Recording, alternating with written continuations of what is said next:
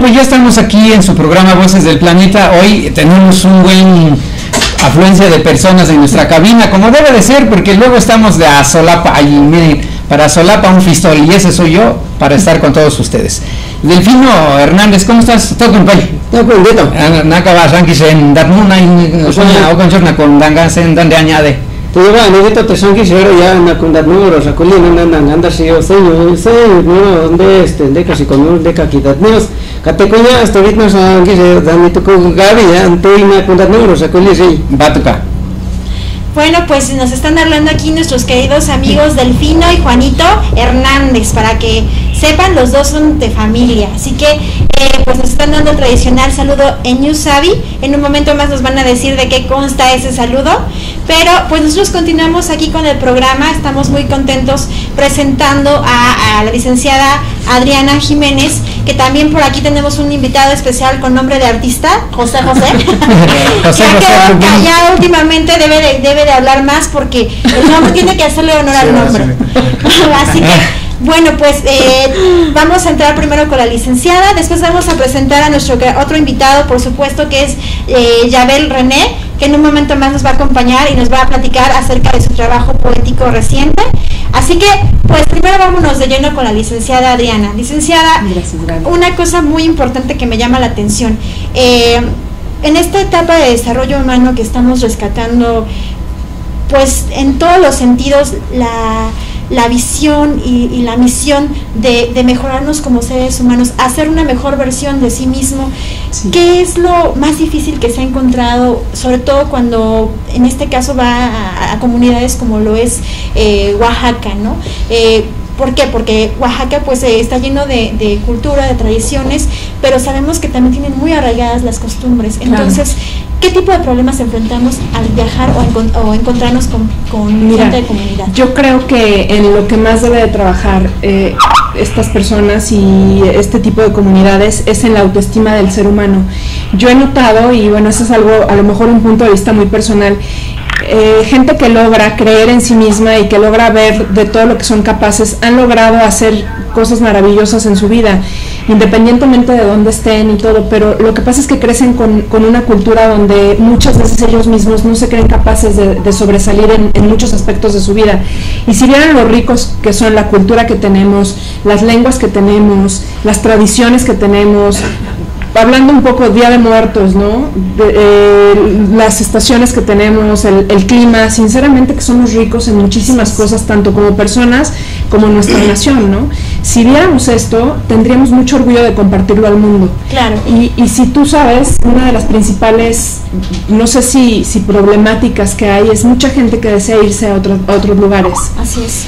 y empiezan a, a perder un poquito las raíces porque no, no, no están tan arraigadas sus raíces en México o a lo mejor en busca de unas oportunidades distintas, que también es muy reconocido, ¿no?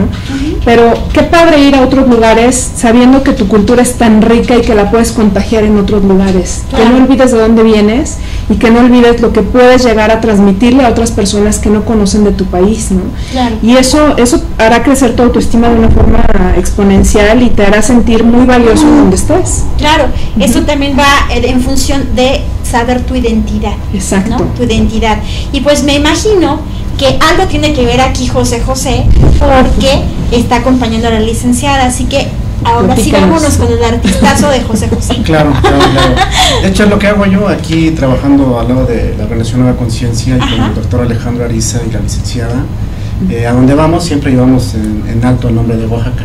Claro. ¿Por qué? Porque pues yo soy originario de allá, aunque no hable el idioma, pero mis raíces están allá. ¿sí? Claro. Yo soy descendente de, de oaxaqueños, entonces yo soy también oaxaqueño. Claro. Y para mí es un orgullo y este y, y por eso quiero que vaya mucha gente de allá a conocerlo, a conocer lo que lo que dice el doctor y a este y a aprender a vivir diferente, ¿verdad? Claro.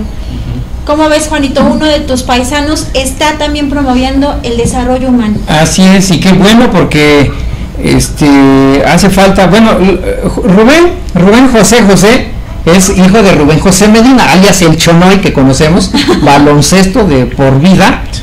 Se murió por el baloncesto un tanto, pues, pero físicamente muy bien, vamos, hasta que pues hubo un accidente. hasta donde sé, creo, se, de los juegos artificiales, no se cuidó y miren, se fue.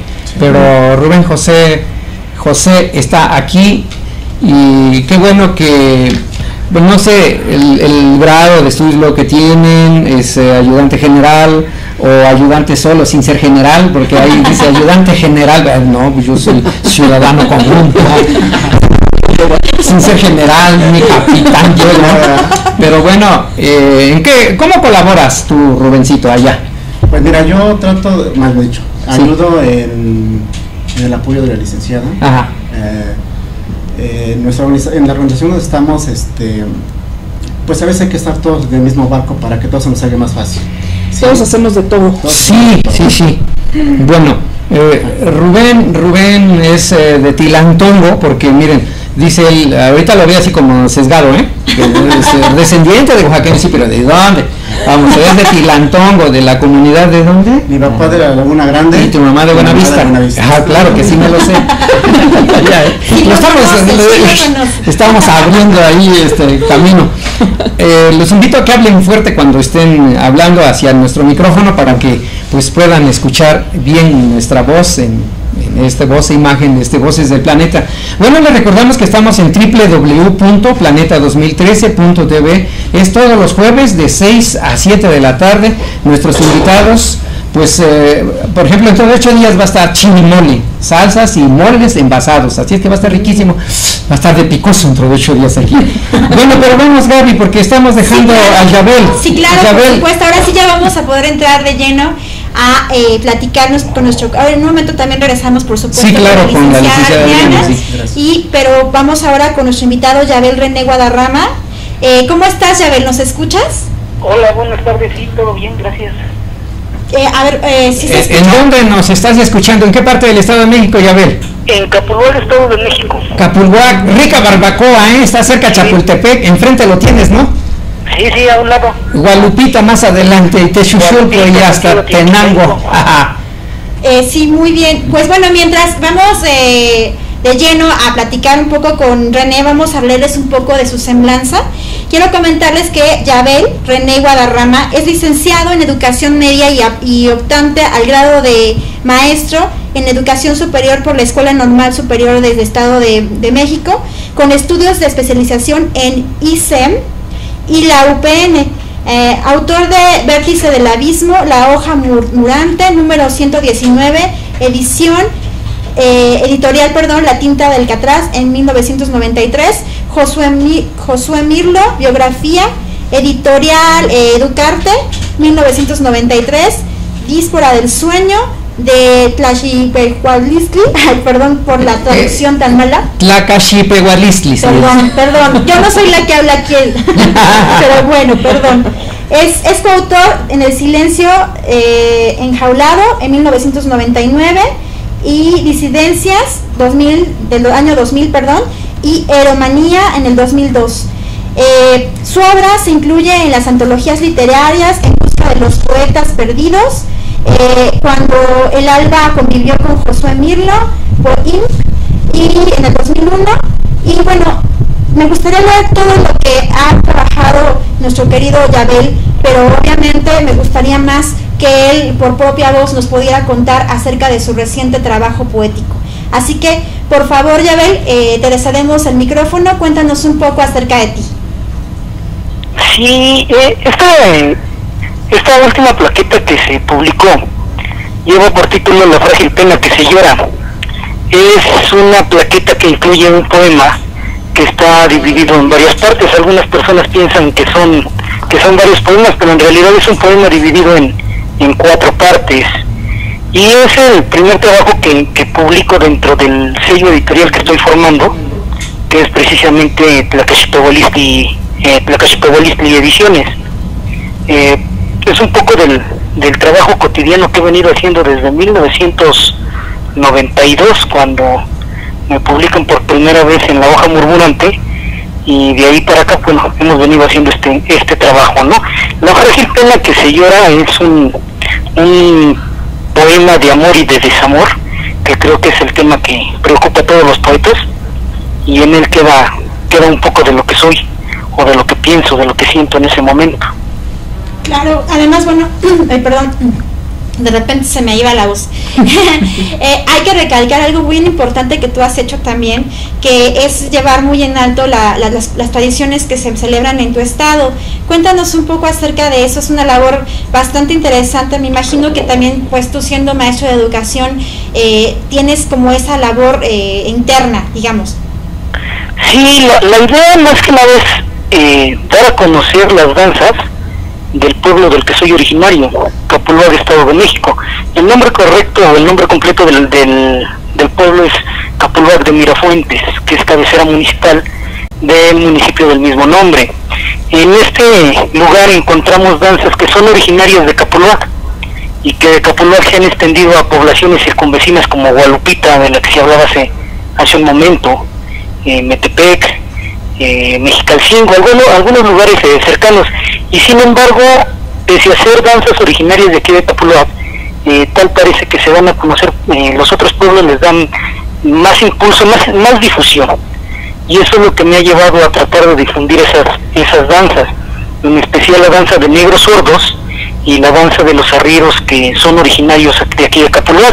Eh, en el Estado de México hay dos, dos géneros de, de arriería, la arriería hacienda y la arriería viaje, y cada una de ellas se, eh, se divide en regiones. En el viaje tenemos tres, regiones y una de esas regiones es Capuluac. Entonces he buscado de alguna manera dar a conocer esas danzas a través de algún curso que se ha impartido en la Escuela Nacional de Danza Folclórica Mexicana, participando también en los eventos de danza que la misma Escuela Nacional de Danza Folclórica eh, tiene a lo largo del año, pero también a través de canales como YouTube o un blog que se llama Capulúa Historia y Tradición, en el mismo Facebook un, un, grupo eh, homónimo, Capulúa Historia y Tradición 2, para conocer esas danzas que, que caracterizan a, a la gente de Capulúa y que son importantes porque representan una parte de su historia. En Capulúa a partir de 1730 se tiene constancia de que ya hay este de que ya hay eh, arrieros de que ya hay arrieros en Capuluac y la danza de los negros sordos bueno tiene que ver también con ese trabajo de los arrieros y la relación que hay con el estado de Morelos Bien, este, Yabel, Yabel, este, vamos a hacer una pequeña pausa para volver contigo otra vez. Está interesante y vamos a, a un libro que se me pegó que se llama El vértice del abismo. A ver, o te atoras allí en el vértice o te sigues de filo. Regresamos contigo, ¿eh? Ok, Estamos en un momento. Estas voces del planeta.